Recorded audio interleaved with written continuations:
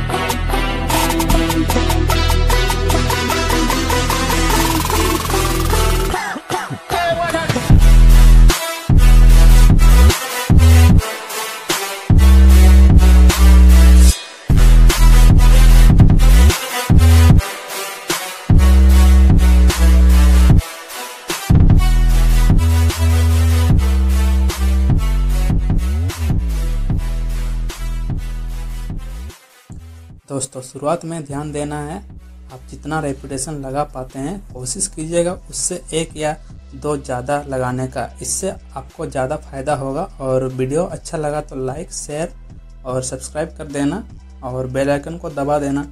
मिलते हैं next video में, तब तक के लिए बाय बाय